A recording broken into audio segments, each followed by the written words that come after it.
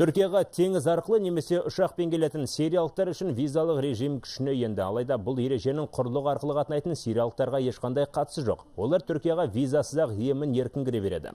Билік басындағылар бұл шаралар елге ағылған заңсыз мигранттармен күрес үшін жасалғанын айтты. Әртүрлі мәліметтерге қарағанда сириядағы келеңсіздіктер басталғалы бұл елден түркияға 2 миллион адам келген. Ал олардың күнкөрісі мен ішіп жемі үшін анкара 8 миллиард доллар көлемінде қаржы жұмсайды.